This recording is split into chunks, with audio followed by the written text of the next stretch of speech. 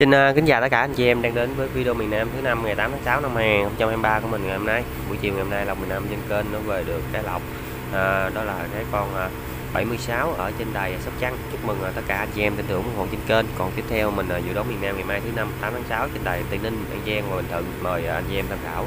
Ở đài Tây Ninh mình uh, dự đoán cái cặp 13 31. Ở đài An Giang mình uh, dự đoán uh, cái cặp 16 61.